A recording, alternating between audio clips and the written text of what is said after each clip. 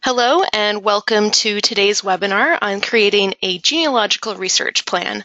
My name is Ginevra Morse, the Director of Education and Online Programs here at the New England Historic Genealogical Society. I'll be moderating today's event. NEHGS is a nonprofit organization supported by our members and donors. We provide resources and expertise in nearly all aspects of family history and are pleased to offer this webinar today for our members and friends around the world. Giving today's presentation is Lindsay Fulton, Director of Research Services at NEHGS. Lindsay joined the Society in 2012, first as a member of the Research Services team, and then as a genealogist in the library.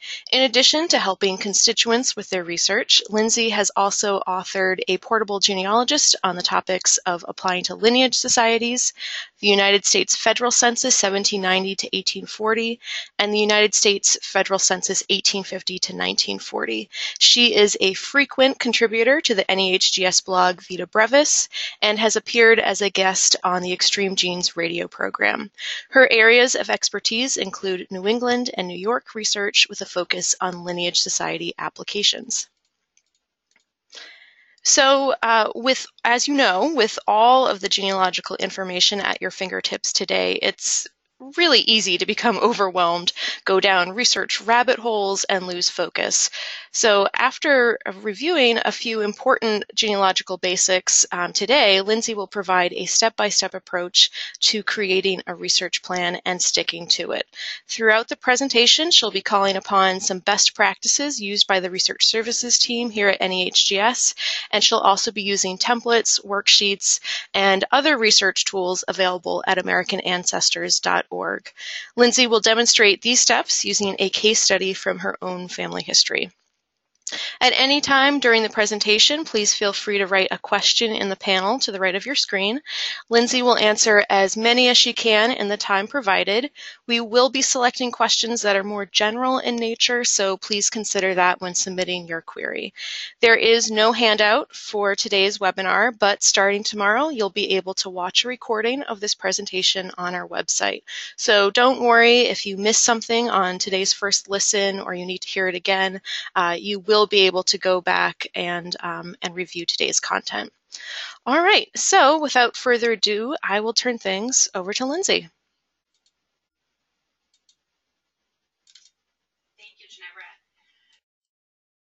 Thank you, Ginevra. So welcome everyone uh, to today's webinar on creating a research plan. Uh, we have a lot to cover, but I think that this will be an important lesson in perfecting your own uh, genealogical research and your own genealogical skills.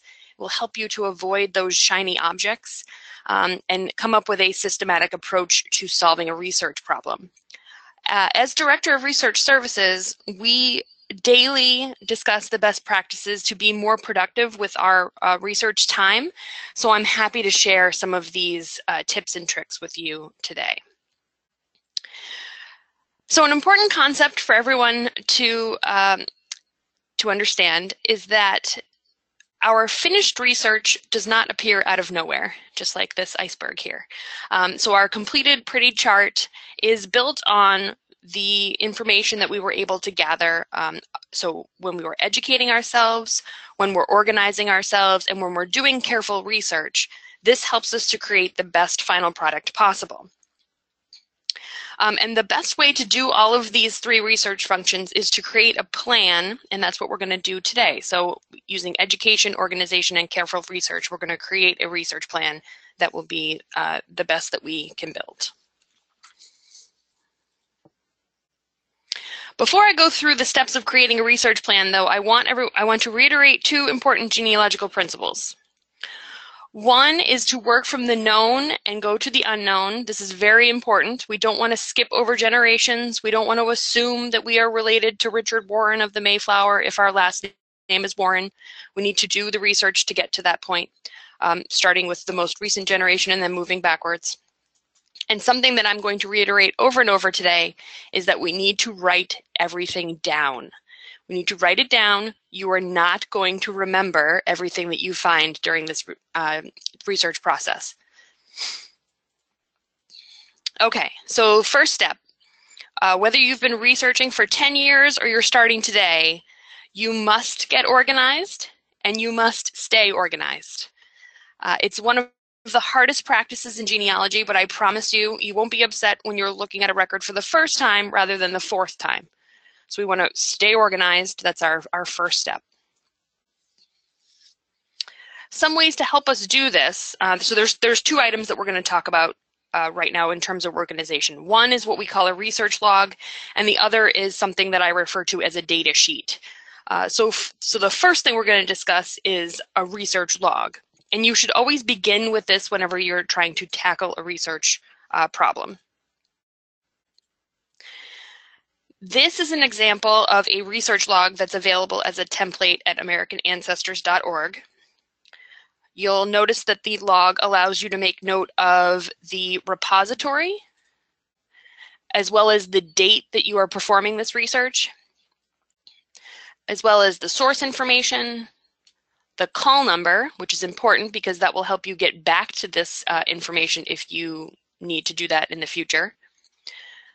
Uh, it includes a column for your objective. And the objective section is very nice because it forces you to stay on task by writing down what you're actually looking for.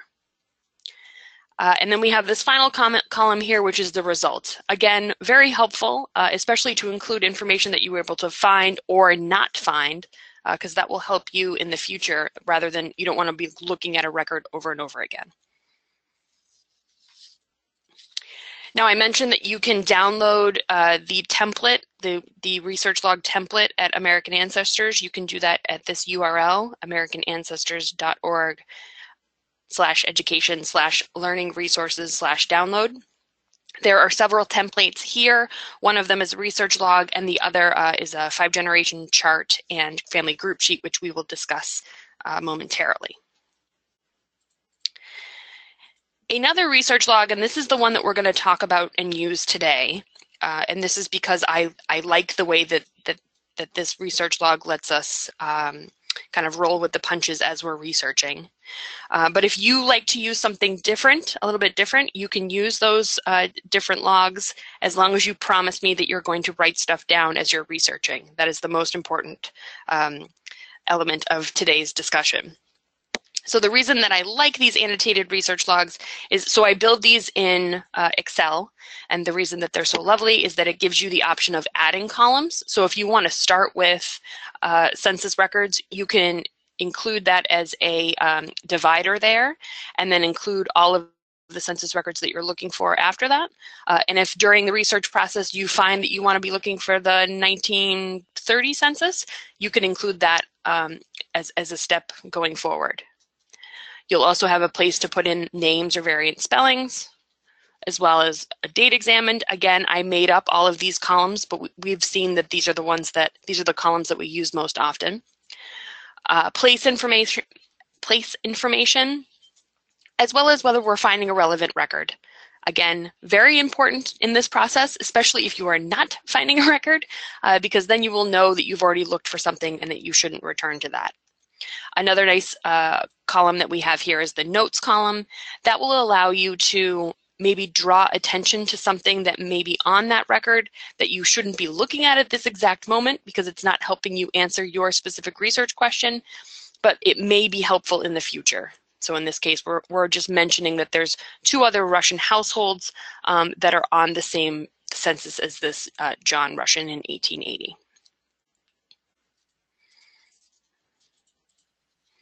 So next we're going to organize our data, and that's when we're going to use data sheets. Um, as, and as I said before, this is going to be the, the second part in, in organizing yourself. So you're going to have a log and you're going to have a data sheet. There are several styles of data sheets. There's a family group sheet. There's a five generation chart. You can customize your own spreadsheet. You can use a genealogical software or a database software. Whatever you decide to use, that is fine you just should stick to that one format and not use several different types of um, data sheets. So some examples of this, uh, so I'll show you a five generation chart. This is some information uh, on my own family. So this gives you the option of starting with yourself as number one, um, and then including the information for your parents as two and three. And there are lines for um, birth information, marriage information, and death information, which you can include both the date and the location. It allows you to put your uh, grandparents as well as your great grandparents and your great great grandparents. Now, if you want to continue, you can do so. So you'll see that example, uh, you'll see this chart number here. So you can uh, number the charts, the, the people who are, are going to be going further here. So for example, if we wanted to continue on with Edward Ambrosi, which is number 24 here, we could just put chart number 10 because this would be 1, 2, 3, 4, 5, 6, 7, 8, 9, 10. So he would be the 10th chart. Um, so then you could start a new five generation chart beginning with Edward Ambrosi and then putting his parents, um, grandparents, and so on and so forth. Uh, family group sheets can also be a great way to keep your family research organized. Um, I think they're a great way to keep track of key surnames, like a wife's maiden name or the married uh, surnames of daughters, because these sheets let you fill in a little bit of information for the wife and children. However, these sheets can get very lengthy, uh, and you may feel overwhelmed by the number of sheets in your research folder. Um, therefore, I recommend for a deep dive into a family, um, a family using these group sheets, I would I would recommend actually using a genealogical software other than these group sheets. But if you're just looking at one family and you want to write everything down, maybe you're going to a, a library and you don't want to take your computer with you, uh, this might be a good option for you. As I mentioned, uh, genealogical software that helps you take a deep dive into uh, families because it it expands beyond that five generation chart where we're just including birth, marriage, and death information. Um, and it, it, can expand beyond that. So if there's military uh, service, you can include that information. Um, if, if someone was involved in a fraternal organization, you can include that information. There's many more um, um features that you can fill in on these genealogical software programs. Uh, this is just a list of some of the most popular. However, if you're interested in, if you don't have a genealogical uh, software program that you use and you're interested in choosing one, I'm going to recommend, because I am not an expert in genealogical software, to re to uh, listen to Rhonda McClure's Choosing a Genealogical Software Program, which is available at American Ancestors. Uh, it was a webinar that was given but it's also it was given in January of 2016. Uh, but this is something that would be part of our archived program, so you can uh, look at that at the following hyperlink on the bottom there. Okay, so once we've organized ourselves, the next thing that we need to do is uh, include information about what we know about our ancestors and then what is missing because we always want to work from the known to the unknown. So we can look over our data sheets for missing information. So if we return to the five generation chart, or your group sheet, you can look to see what information is missing. Now on this one in, in, particular, there's a lot of information, information that's missing. We see a lot of blank lines here. Um, but for the, for the case study that we're going to do later, we're going to examine the life of William Henry Brown but you want to be looking at those lines for that particular missing information before moving forward. And something to think about, um, you know, so, so some of the information that you, that you might be missing is like a birth date or a place, a marriage date or a place, but we shouldn't only be concerned with missing information. We should be concerned about certain missing information. So what do you want to know? That's what's most important. Then you can start moving on to these other items that are listed here. So immigration year, naturalization status, uh, you know, that might apply to your ancestor, but if that's not something that you're interested in, in figuring out at this exact moment, then maybe pick one of the items on here to discover. So if we're looking for parents' names, let's just focus on, on that particular issue. All right, now step three. Once you've determined what you're missing, in terms of information and what you want to know more about, this is the most important step. You must list the records that will aid in your research. This will keep you on track. This will keep you from looking at the shiny objects that you find while you're researching. if you have a list of items that you need to find and that you need to cross off, you know, your log, this is the best way to do it. So listing those records that are going to help you in your research. So what are those types of records? We need to be looking for vital records, church records, census records, taxation records. Um, we also want to be considering, are these records going to tell us the information that we need to know?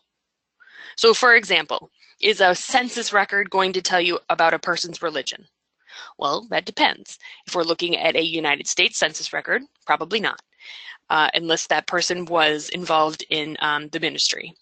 But if we are looking at a Canadian census, they do identify people's religion on that. So in that case, that might help us to identify church records for a particular individual. So you have to know about the record that you're looking for and whether or not that record is actually going to tell you the, the information that you're looking for. A fantastic way of doing this um, is to review a chart that Ann Lawthers, uh, she's a genealogist here on the staff at NEHGS, she created this for those who are getting started. However, I think that this is something that can be useful across the board, whether you're new to genealogy or if you're an expert. Um, it helps you to stay on track, and it also might give you insight on a different research approach. So you might not have thought about for example, a death place uh, and a death date and place, you might not have thought about looking for a newspaper. You might not have thought of looking for a military record. So this chart will, will give you a systematic approach to finding that information that you're trying to discover about your ancestor. And I mentioned that you can find that chart uh, done by Ann Lawthers on our website. This is under the uh, education tab here.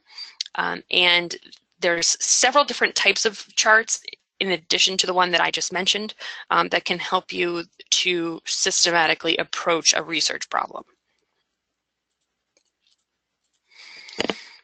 Okay, so once we've identified the type of record that you're looking for, that will help you to solve your genealogical problem, you will then need to determine where that record is actually located. So is it at a local repository? Is it on AmericanAncestors.org? Is it at the local town hall? You will be responsible for educating yourself on the location of these records. So to do so, you should locate re reference materials on the particular type of record that you're looking for. For example, there are several books that are written about the federal census, state census records, and vital records. These can be most helpful when compiling a list of the records that you need to check on your research log. Because again, we're going to add all of these things to our research log as we're discovering them. Some repositories to check for reference materials um, are our own library here at NEHGS. You can do so by searching our online catalog using either the keyword tab, the title tab, author, subject, call number, or even this advanced tab here. And that's a, the advanced tab is a nice way to look for manuscripts that we have in our collection. Um, but you can search the library catalog to discover some reference materials that we might have about a particular record group that you're interested in. Another way that you can search for reference materials is using uh, WorldCat. WorldCat's one of my, my all-time favorite um, resources available. Uh, you can search WorldCat using your zip code and it will tell you the local libraries that are carrying a book that you're looking for. Um, and if you cannot find a local library, sometimes you can use uh, interlibrary loan to through your local library um, to get a hold of some of those reference materials. Finally, some other books that you might be able to find are using ebooks online.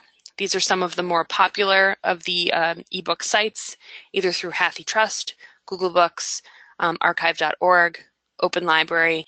Family Search has done a significant job uh, digitizing their collection as of late, so you could check familysearch.org uh, for a ebook in your area. So in addition to those reference materials, there are some major sites that have compiled subject guides about specific genealogical material. um, American Ancestors has many to choose from. So this is just this is the um, the open opening page to our uh, subject guides available on American Ancestors. And if you click on one of these items, it will bring you to links to other sites. It will bring you to other databases. It'll give you a history on the topic. Um, it might even have links to helpful videos. This is an example of Marie Daly's subject guide on Irish genealogy. So if you're having trouble um, navigating, doing some Irish research, this is a great page for you to go to to learn about the resources that are available. So the records that are available for you to determine place of birth, parents' names, et cetera, et cetera. Uh, another site that does a fantastic job on this is uh, Family Search. They have something very similar to the subject guides that we have here at American Ancestors. They're calling it the Family Search Research Wiki. And there's a variety of topics that they have listed on there. Um, again, they're incredibly helpful compiled sources that help to explain difficult subject matter. Uh, some of the best wikis that I uh, ha have used on Family Search are helping with foreign languages and uh, handwriting. So for example, here, this is a, uh, quick guide into reading old German handwriting. Uh, not, I mean, this should help you out a little bit. German handwriting is very difficult to read, but this is just another tool that you can use to help you discover more about a record group or record um, type for your ancestor.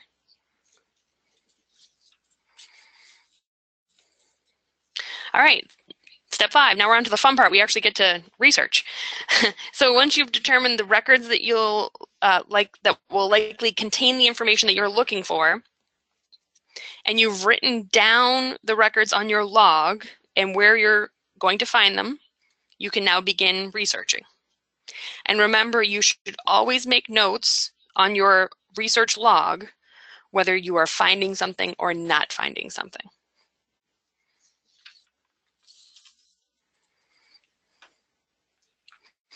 Okay, so let's try this strategy together. We're going to work together to create a research plan, and then we're also going to execute the plan to discover the parents of William Henry Brown. William Henry Brown just happens to be my great grandfather. We're going to remember the steps that we just went over. So we're going to organize ourselves. We're going to look for that missing information. So what are we trying to discover? We're going to list the records that will aid us in our research. We're going to find those resources. Uh, and then we're going to actually do the research. So step five is the research process. All right. So step number one, organize ourselves.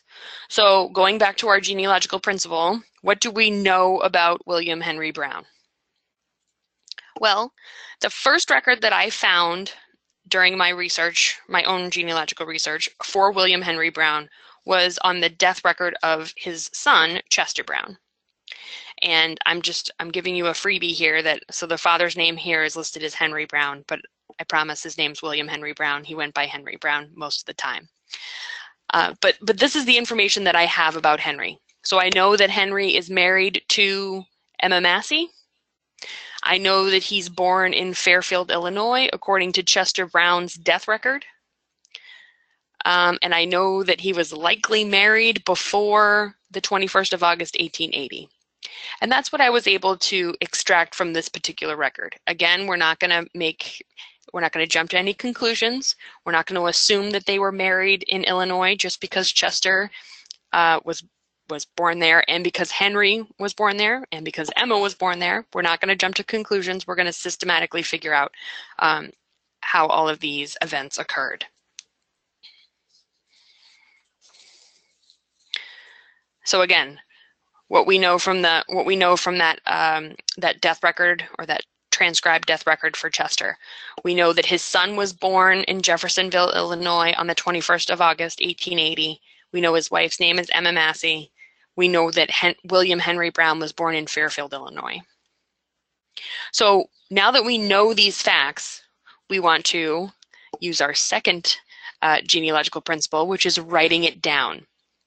So using one of those five generation charts, we're going to write down the information that we know about Chester Brown, coming from that transcribed death record, his father's name and where his father was born, as well as his mother's name and where his mother was born. And now that we know the information that we, so now that we have the known information, we now need to look for that missing information. And even though our objective here is to look for the parents of William Henry Brown, this is not the only unknown information, right? So we don't know a birth year. We don't know anything about his marriage or his death date or place.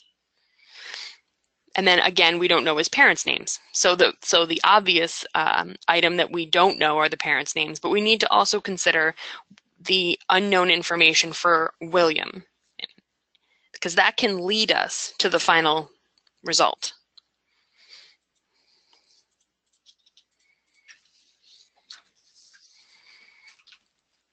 So the missing details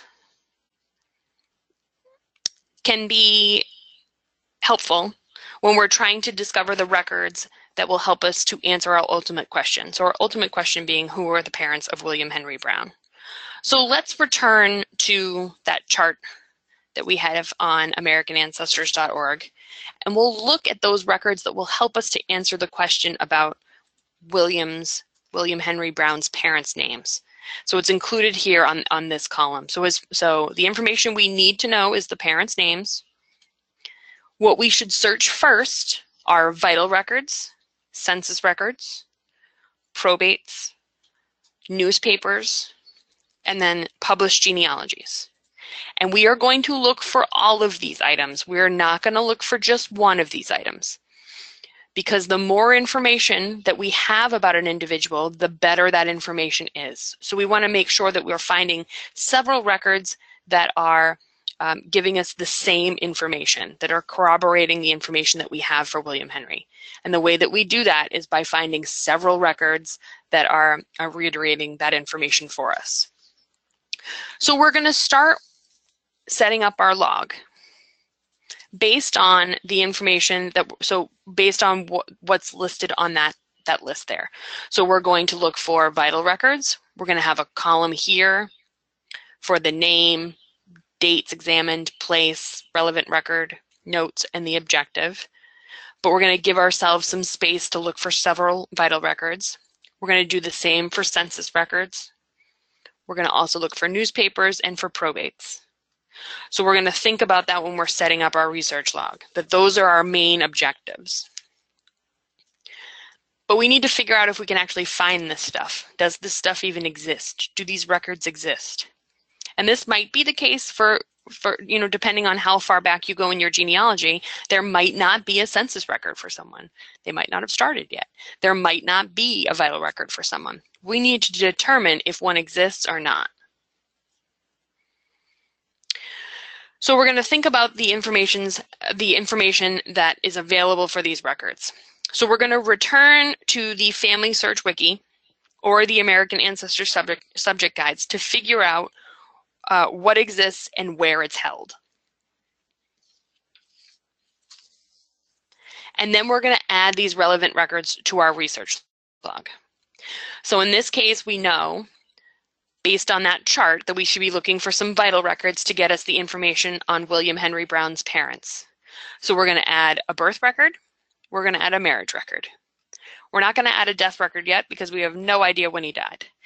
That's going to be some information that we find going forward. We know that we're going to be looking for William Henry Brown. We know that for the marriage record, we're going to be looking for William Henry Brown and Emma Massey. If there's any variant spellings on names, you should be including those on that um, in this column here. We know that they were likely married before 1880 because that's the date of birth for their son Chester. Um, we don't really know about the place, but we can keep that as unknown for right now. We're also going to include information about census records. Again, we're going to include the 1900 census and the 1880 census because we know that they likely were living at that time. We know Chester's born in 1880, so he might be included on a census record with them. but most likely he's on a 1900 census with them. So we want to be looking for those two, first two censuses to begin with. However, as time goes on, we're going to be looking for the whole gamut of, of um, census records for a particular individual. We don't want to skip over any record group that exists. We also included probate records because those are on the, the list uh, that Ann put together for getting started, as well as an obituary for um, Henry, William Henry Brown, as well as published genealogies. So again, we're making this list just based off of the types of records that are going to give us the information that we're looking for. We don't necessarily know where we're going to find them at this point, but we're going to put those records down so that we know to look for them. We're going to continue to look for them so that we, we um, encourage ourselves to do so and don't, we don't skip to the next generation.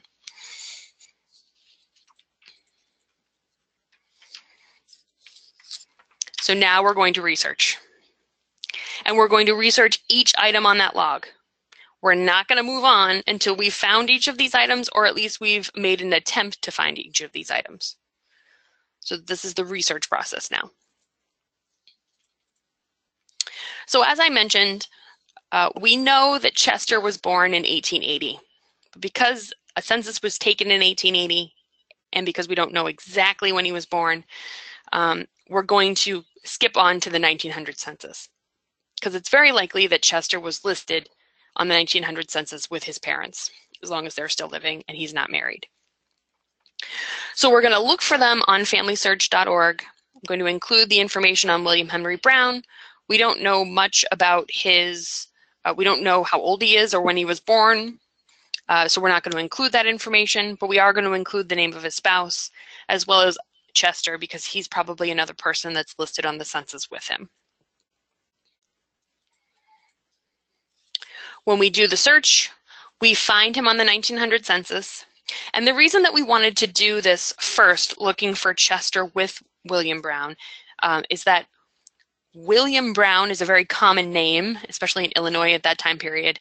So we want to be sure that we're looking for, the, we want to be sure that we're finding the right person. Um, so we know that if we find a household with a Henry Brown and then with a Chester, that we likely have the correct household. So this is them.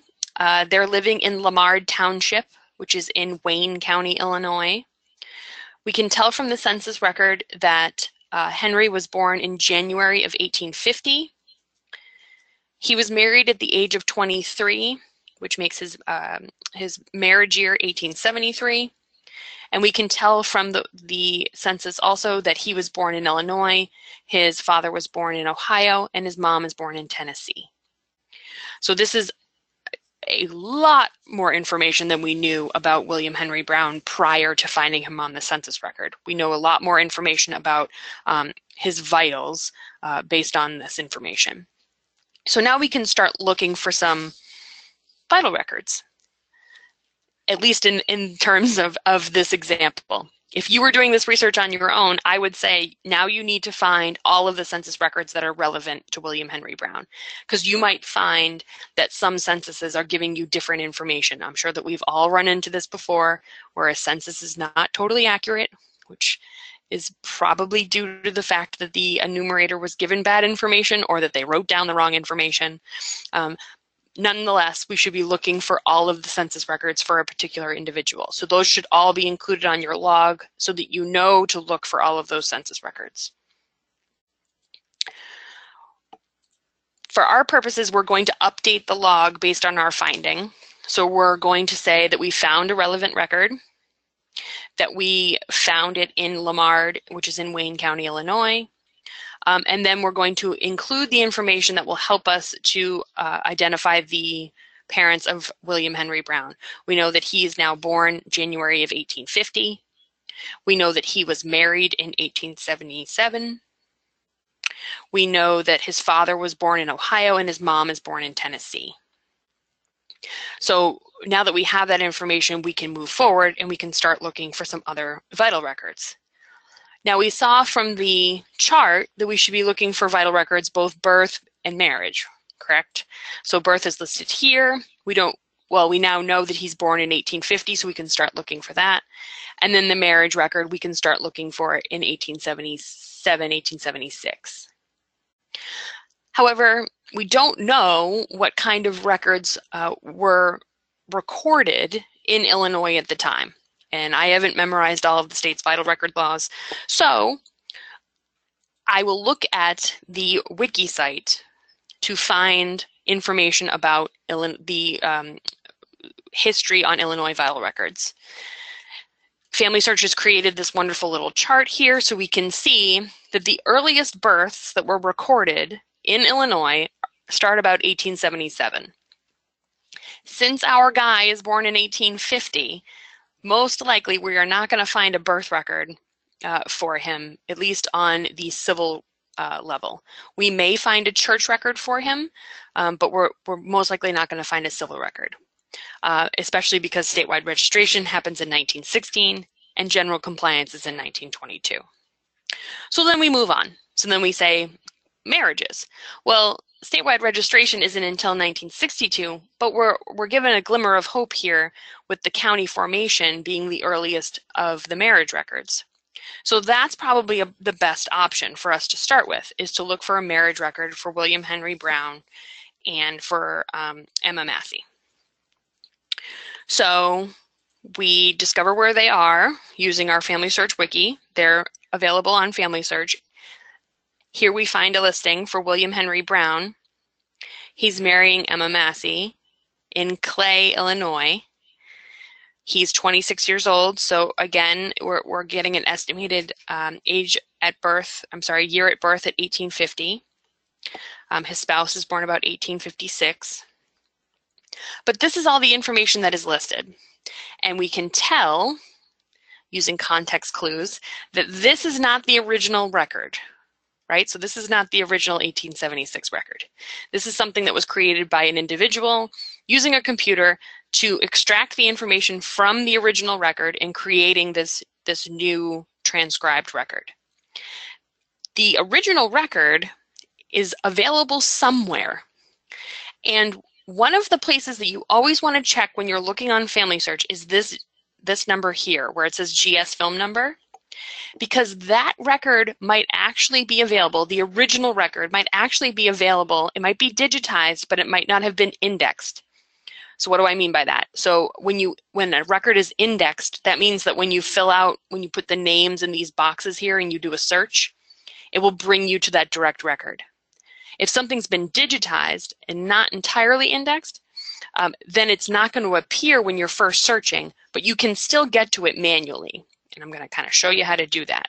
So the, the good news is, is that, that that GS film number is given, so we can check to see if the original exists. And why do I keep harping on this? Because you always want to look at the original. The original record is going to give you more information nine times out of 10 than that transcription does. There's always information that's included on there uh, that might not have been included on the transcription for whatever reason. There might not have been, there might be privacy laws for it. Um, there might be uh, you know, not enough fields for the for the transcriber to include that when they're indexing it. Whatever it might be, there's going to be more information on that original record. So we want to find the original. That's the most important. So we go on to Family Search. We go, well, we're still on Family Search, but we go into the catalog. So we're going to choose the catalog on the top here. Uh, and we're going to search for the film number. So we put that GS film number that was included on the record that we found for William Henry Brown and Emma Massey. And when we put that film number in and we search for it, uh, we get a hit and it gives us this description. So we can see here that there's four collections. The one that's going to apply to us is this one here, volumes B through D, because uh, it covers the time frame that we're looking for. But you'll notice here on the side, the, the format column, there's a magnifying glass and there's a camera. If you click on the magnifying glass, it will be, bring you back to the transcribed record for William Henry Brown and you will just keep going in circles. So we don't want to do that. We want to click on the camera. The camera will bring you to the digitized reel of film. Um, it's not going to be searchable, but we're going to be able to figure out what page it's on based on the index by the um, database notes. So you see on the top here where it says that this is microfilmed of the original record in, at the Clay County Courthouse and that there are indexes at the beginning of the volumes. So whenever you click on this camera here, one of the first couple pages is going to be an index to the entire volume. That's very important when you're looking at, at a large number of uh, scans. So when we did that for William Henry Brown and Emma Massey, we, we browsed to the original, which is page, uh, which is image number 784 of 962, which is why we want to look at that index at the beginning so that we're not wasting our time looking through all these records. Um, but the, the important part about this is that it's giving us so much more information about the marriage. So we find here that they were married by a uh, Methodist pre, uh, minister. We know his name. But more importantly, they give us information about where the couple is from. So this says that William Henry Brown is from Lamard in the county of Wayne, and that Emma Massey is from Clay City in Clay County. That is not information that was included on the transcription. So because we know that William Henry Brown was from Wayne County, always from Wayne County, we might be skeptical of that transcribed record because it doesn't give us the same location. But now that we've looked at the original, we can be confident that this is for our guy. This is who we're looking for.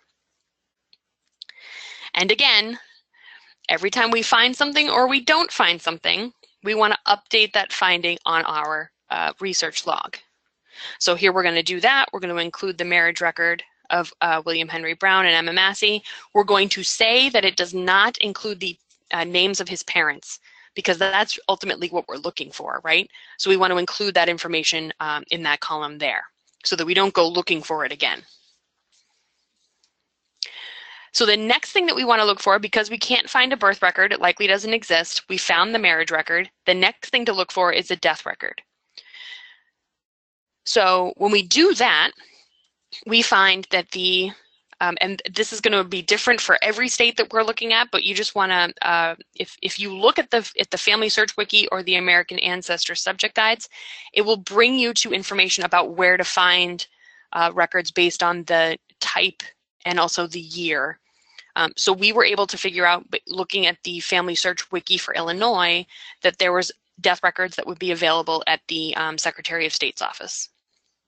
So again, this is an indexed record for William Henry Brown. We find where he dies. He dies in um, Effingham County, which is uh, Mason City in Effingham County. Uh, the age matches for what we know about him. So we're pretty confident that this this is a this is a good record for us to look at. But we need to look at the original, and you need to be persistent about looking at that original because the original will get you hopefully um, to you know to the record that you're looking for or the information that you're looking for. So, because I was persistent, um, I contacted the county clerk in Effingham County and asked them to look through their records to try to find us a copy of the death record for William Henry Brown. And guess what? Uh, they found it. So what you need to always remember too when you're being persistent is that not everything is going to be online. Not everything is going to be knowable online. Uh, it's always worth picking up the phone and calling the local town town clerk, the local town hall, the li local librarian, because they might be able to help you navigate uh, some of the smaller collections that are held on the local level. So here, when we get the, the original uh, county copy of the 1915 death record, we see that William Henry Brown is listed. His birthplace is listed as Jefferson, Illinois which is different information than what was on the death record of his son, which is typical for uh, death records uh, to have slightly uh, inaccurate information. So it's something that you want to keep in mind moving forward, that you um, should always be um, skeptical and analytical of the information that's included on um, death records because they're the person who's dying is not including that information themselves. Nonetheless, if we look here, we can find that the name of William Henry Brown's father is Emanuel Brown. His birthplace is Stark County, Ohio, and that his mom's name is uh, Baker. His mom's maiden name is Baker.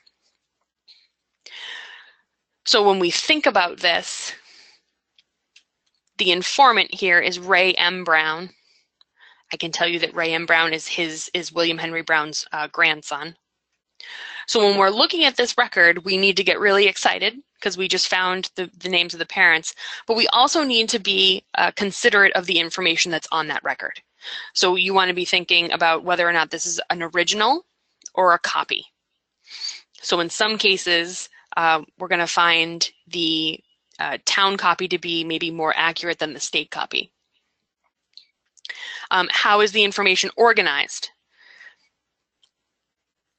Could the information be incorrect? So how far removed is uh, the record from the event and then who's providing that information? That's really important when we're looking um, at a record to be uh, considerate of the information that's included there. So how accurate is it? For our purposes, we're going to say it's accurate. so we're going to update our findings on our um, research log. Again, because we're writing everything down. Uh, so we're going to include where the death occurred. We're going to say that we found a relevant record. Uh, and then we're also going to have some notes here that the um, the original 10 June 1950 death record indicated that he was the son of Emmanuel Brown and a woman named Baker, and that he was born in Jefferson, Illinois. Again, we're always writing stuff down. Something to be considering is that we need to be methodical. Again, I'm going to say this over and over again, is that when you're in, when you, when you include something on your log, you then need to follow through on that, that item that's on your log. You also want to consider that there might be mistakes on the records that you're looking at. So you need to follow through on all of these items that you're including on your research plan because you might find contradicting information. So the more information that you can collect, the more records that you can collect along the way, the better analysis that you're going to have of your ancestor.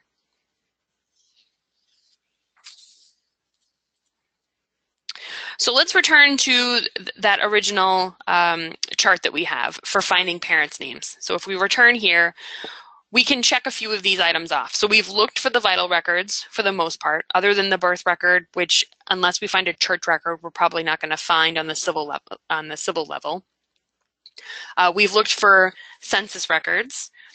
For the most part, we we need to follow through on all of those other census records, as I mentioned. But now we're going to move on to the final three. So we're going to find a probate record, newspapers, and published genealogies. Before we do that, though, we're going to update our research log. Because we need to know where we're looking for something and then what we're looking for. So we're going to look for probates, we're going to look for uh, newspapers, and we're going to look for published genealogies. Now, I can tell you, we started looking for the probate records. We started looking in Wayne County, but there was nothing available online, readily available online um, for Wayne County, Illinois. So what does that mean? Does that mean that we just stop looking?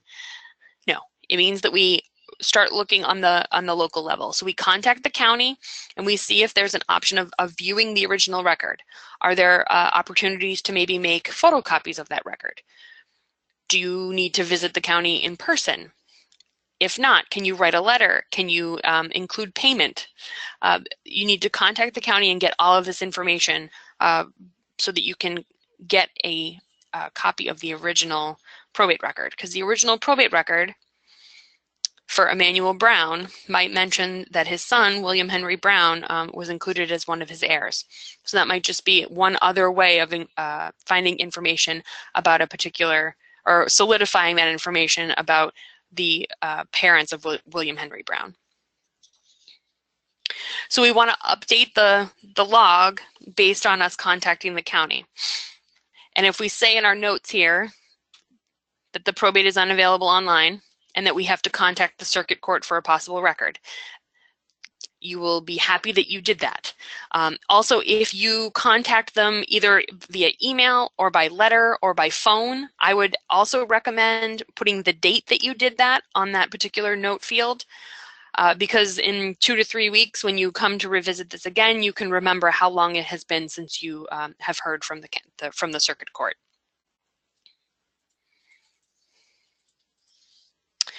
So now we're going to move on to newspapers because it's possible that an obituary for William Henry, Henry Brown would reiterate who his parents are.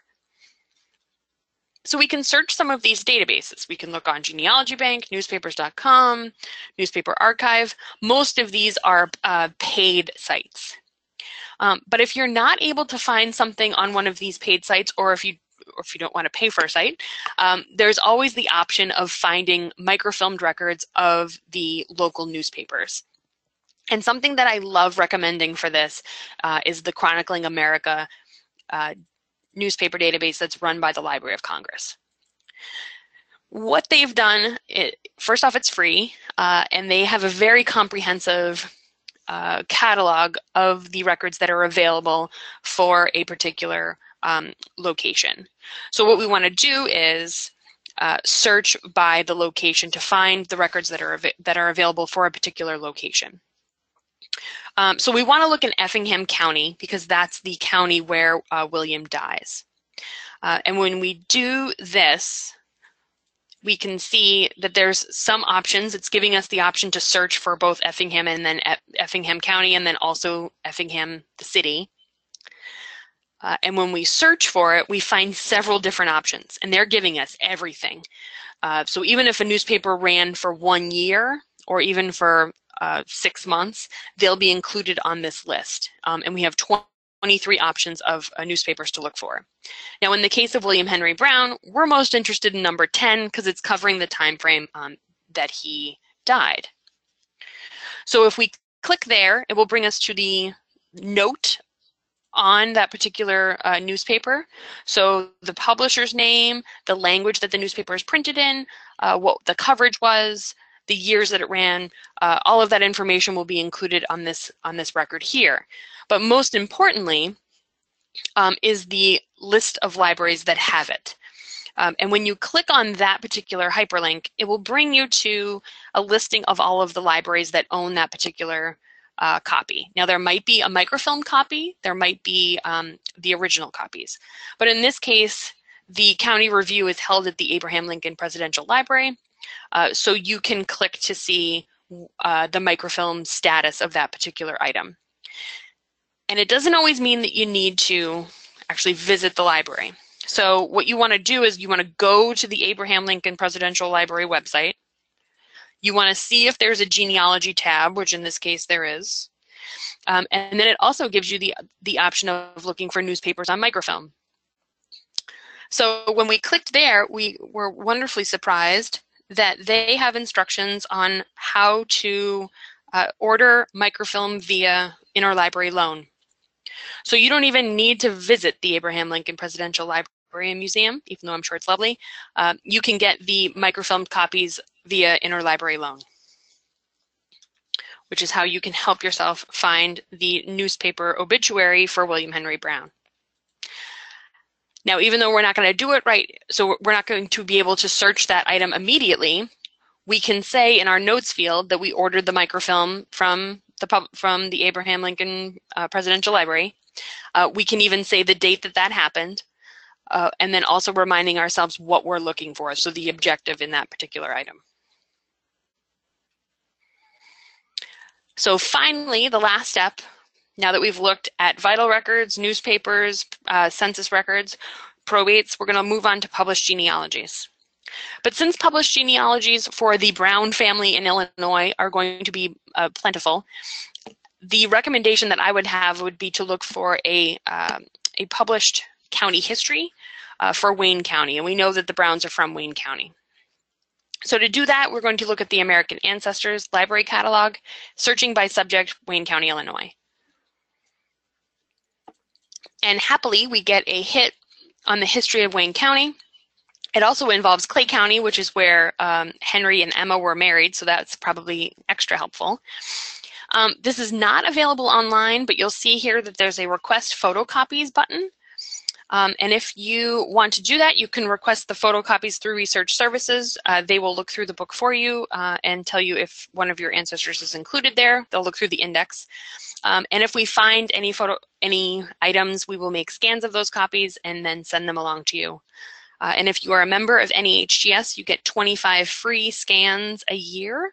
So this is a service that you should probably take advantage of, especially if you're not in the New England area.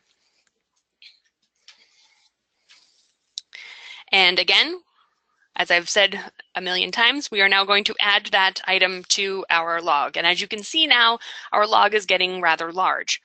Uh, so we can see the published genealogy here and that we're going to look at it at NEHGS. It's not available online, it's on the fifth floor, and then we include the call number there uh, for us to review that at a later date, whether we're coming to use the library or whether we're ordering something through research services. So my final tip is going to be that you should make some notes on your log about the, we've been talking about this, about the reliability of a record because it's really important um, that you understand whether a record is um, definitively true or um, if we should be taking some of the information with a grain of salt. So the most important things to consider are, is this original record or is it a copy of a record? The original is going to be better, obviously, than the copy. The individual who's reporting uh, the information. So in the case of a death record or a marriage record, the marriage record is going to be better because it's most likely coming from the individual who's living. Whereas if it's an informant giving that information, such as on a death record, that information will be less um, accurate. Uh, if the record is close to the event, it will be more accurate than if that's uh, far removed. So a cemetery stone, for example, giving the birth date, uh, birth year, that can sometimes be uh, not as accurate. Um, and then there's some others like an educated clerk versus an uneducated clerk, uh, or a reliable source versus an uncited source. So if you find some of those older genealogies that are not cited, uh, those can, can sometimes be um, a little sketchy. Now what I like to do, because your logs get to be very verbose, is to use a coloring system to indicate the, the record strength. Um, and I just used the, you know, colors that we use driving daily. Um, so I use red to say that something is unreliable, and then all the way up to green being um, good, and then uh, acceptable and, and acceptable and good are kind of in the the yellow um, area. So I will color code my log based on the reliability of the record. This is a nice way to quickly look at your log um, to figure out the strength of each record. Uh, this can save you time when you're researching, um, as you can can you as you can determine the definitive information from something uh, that might be a, a little bit more flimsy. So to review, the steps in order to creating a great research plan are to organize yourself, to look for missing information, list the records that will aid in your research, all of the records, not just the ones that you want to look for, um, all of the records that will help you to um, determine the research question that you're trying to solve. Find the resources, research, the fun part, and then analyze and make your conclusions. So the analysis can happen um, at the end or during, it doesn't matter, uh, but that's when you can start color coding your uh, log based on what you're able to find. All right. Thank you so much, Lindsay. That was fantastic. Uh, now let's tackle your questions. If you have anything that you'd like to ask, go ahead and type it into the questions panel and answer. And Lindsay will try to answer as many as she can in the time provided. Um, you know, we're just about at the the top of the hour, but we'll we'll answer a few questions here. Um, and as I mentioned at the start of the presentation, those that are more general, um, we'll we'll tackle first. So um, a few questions about how to kind of organize your research logs. Um, should the research log be created for each person, each surname or family, or do you usually do a research log per question or genealogical issue that you're having? I tend to use one log per surname um, that just helps me stay more organized than include. So if we start including more surnames, then it starts to get a little uh, iffy. Uh, the nice part about Excel is that it gives you the option of creating more tabs on, uh, so you can create, you know, several different research plans and name them the surname. Um, so so that can be can be very helpful and help to, to stay organized and maybe not create a huge gargantuan log uh, that's that's hard for you to look at. Um, a nice another nice part about an Excel sheet is that it helps you to uh, sort what you're looking at. So if you wanted to look at I don't know, all of the William Browns that you were able to find, in, uh, you know, on a baptismal record, um, then you can you can use Excel to kind of navigate that item. Um, I but I like to I like to use just surnames for that rather than a particular question. If you do questions, that's usually something when you're trying to like if you're trying to break down a brick wall and you're, you're really looking at everything in the kitchen sink to try to answer it then i would say maybe use a separate log for that. Um, but if you're just doing general research um, on a particular family then i would say use just a, the surname. Um, and a few questions about including citation information. Um, would you include a full citation in your research log, perhaps as a separate column? Um, also, hyperlinks, you know, if you are finding this information online, um, would you recommend including a hyperlink to, to the resource? I love both of those ideas. Yes, I think you should always be including uh, citation information because, again, you're not going to remember where you're finding uh, this information. Um, so that's important to include. Uh, hyperlinks are great as as long, but I would definitely still include the the footnoted citation or the citation information just in case that hyperlink change and you know the URL doesn't work anymore. Um, there are there are several times where I've been looking at something on like Family Search, for example, that was available one day and then wasn't available the next week. Uh, so so that can kind of get frustrating. Um, so another idea that you might might have is maybe creating a PDF of that particular record and then and then attaching that uh, you know to the item that's also a great way of of keeping organized you know what you have on a particular person and also printing something out and um, attaching it to a printed research log is is perfectly fine as well. Um, I know that you had uh, there are a number of questions about um, access to the recording of this presentation, to the subject guides and the tools that we showed throughout the presentation. Um, the recording will be posted um, very shortly after we conclude today and access to that recording, to the downloads, the research log that we showed, um, the other templates, and the subject guides. You do not have to be um, a paid member of NEHGS to access those, but you do need to have at least a free guest account, which you can easily create on our our website. And uh, the guest account also gives you access to a number of searchable databases. Um, I believe that there are 15 or 20 searchable databases that you would have access to as a, as a guest user as well. So lots of benefits there. Um, another question, uh, so Cecilia notes that you know looking at one source often suggests another source. So rather than going down every rabbit hole when something comes up, um, how do you make a note to yourself? Um, how do you kind of record that information or that next step to take? Well, so so uh, you know this happens to us all the time. This is why we're even talking about creating a research plan because we've all run into you know looking at the 1920 census. You're trying to find William Henry Brown, and then you find six other Brown families in in the meantime, um, and that's important for you to do while you're analyzing that particular census record. You should be looking at neighbors, you should be looking at the page before and the page after uh, of, a, of a particular document. So that's good. You, you should definitely keep up that work. However, if you're trying to stay on task, I would say, especially if you're going to use something like um, a res- you should be using a research log. I would say at that point, either print out a research log that has that new family on it so that you know to go back to it. Um, or if you're using the Excel example, then you can create a new sheet and then and start a new family name there, uh, just so that you know to go back to that particular family. I wouldn't look at it at that exact moment. Uh, just because you need to go through all of the items that you included on your research log first before you start worrying about another family. It might end up working out for you in the end.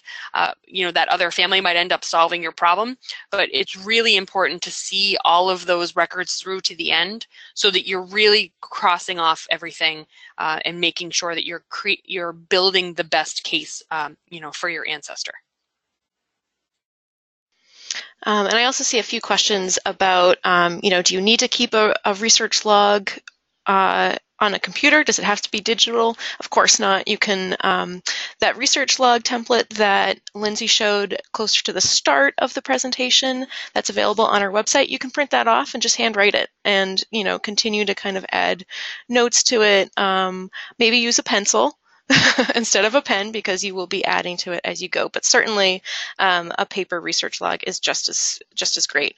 Um, now, Marjorie has a great question. You know, so the presentation today was focusing on kind of a working process um, as you research, and she asks, so once you've done the research and you've come to a great conclusion, where and how do you record that final source that provides the data that you'll consider correct thereafter? Well, you likely won't find one source that's getting you to the conclusion, but um, I, th- I think I understand the the general question being like, what if you, what if you find a couple things that are not helpful or they're incorrect or they're a little sketchy, um, and, and what do you do with the records that are better and providing more accurate information? Um, I would say that if you know if you have something like a genealogical uh, software program then that's something that you should be saving to it indicating that that is a uh, a high record in your um, you know in your collection and then maybe something that is not as accurate then you can label it you know in such a way what we tend to do in research services when we are, so usually what we're working on, uh, we're working on a very difficult genealogical problem. Uh, and once we do all of the research and we create our research log and we go through all of it and we, we've compiled all the information, then we do what we call a proof argument. Um, which is generally, if you've seen what we've done in the uh, register, uh, it's usually a uh, genealogical summary of the person. So, uh, you know, the the person's name, when they were born, when they were married, when they died. If there's any, uh, you know, occupational information or if they served in the military, we'd include that there. There would be information about the wife as well as the children. And then after that, we would have a discussion on, you know, the records that we were able to find, what we weren't able to find, what was what was inaccurate and what was more accurate. So there's a there's an analysis done um, after that. All of the footnotes and citations can be included there. Um, and if you wanted to include even um, hard copies of it, you know, you could have that as well.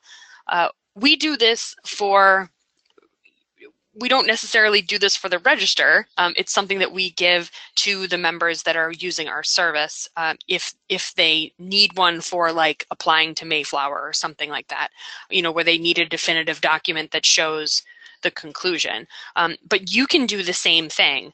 Uh, I think that that would be great, especially if you're solving a very complex genealogical problem uh, where you need several documents to, to prove your point and also where you need to remove some documents because they weren't as accurate. And I think kind of following up with that question, and, and I know Lindsay, you and I have kind of talked about this in the past too, but um, so Susan is asking, you know, should I leave unverified information off my, say, Ancestry.com tree?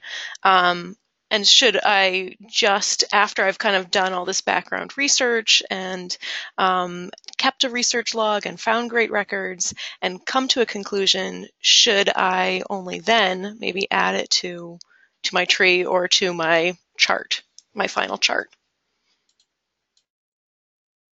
I would say yes, that that but that needs to be whatever you decide to do, that needs to be consistent. So if you're going to use your ancestry.com tree for just verified information. Um, and we know that that doesn't always happen. Uh, but if you're going to be uh, one of the ones that's using it just for verified documents and information, then that's great, but that should just be, that's what you should be doing all the time. Um, there shouldn't be anything in there that you're a little skeptical about. That shouldn't make it to that particular, um, you know, database. Um, and I would do the same thing for really literally anything else. So if you're going to be creating a chart and you're only going to be putting information on there that's verified, then stuff that is not verified should not make it to that. Um, and that should really only be uh, that should only be included on your research log so that you can remember that it exists um, and that you've looked at it, but understanding that that is not definitive information. All right, and maybe one final question. I think this is a good one to end with. Um, Rebecca asks, how often do you revisit your conclusions and the analysis that led you to that conclusion?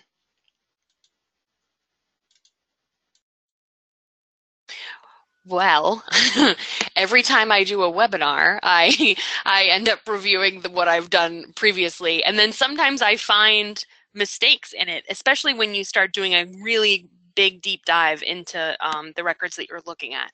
That was actually something that occurred when I put together a version of of this topic.